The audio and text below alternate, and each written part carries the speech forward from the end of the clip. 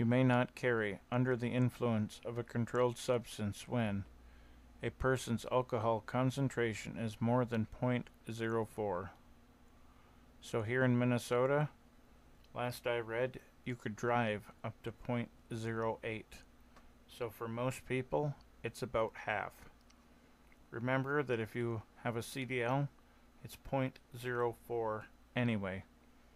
Also keep in mind the posting requirements of the establishment that you're going to, bar, country club, whatever it may be.